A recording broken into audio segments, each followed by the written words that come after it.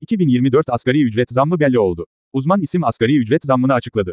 Milyonlarca çalışanın gözü yılbaşında asgari ücrete yapılacak zamda. Ancak enflasyonla birlikte bu rakam sürekli değişiyor. Uzman isim Özgür Erdursun 2024 asgari ücret rakamlarını hesapladı. Yerel seçimler öncesine denk gelen 2024 asgari ücret zammı oranında ekonomik sıkıntı altında ezilen çalışanların ek zam beklentisi bulunuyor. Ekonomist Özgür Erdursun da önceki yıllarda yapılan asgari ücrete zamlarını hatırlatarak yılbaşında yapılacak asgari ücret üzerine yeni bir hesaplama yaptı.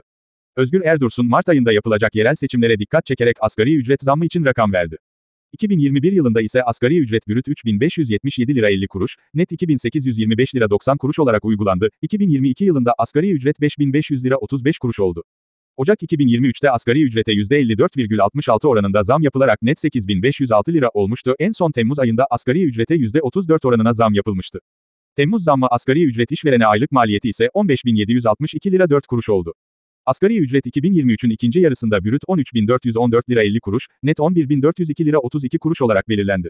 Ancak alım gücünün düşmesi ile birlikte bu zamlar da eridi. SGK uzmanı Özgür Erdursun YouTube kanalından yaptığı açıklamada, enflasyon ikinci yarıda muhtemelen %40'lar civarında olacak.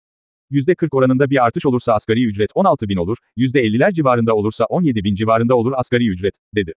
Zam oranı psikolojik sınırı geçebilir. Özgür Erdursun'a göre psikolojik sınırı geçip %55 oranında zam yapılırsa asgari ücret 17.650 civarında olabilir.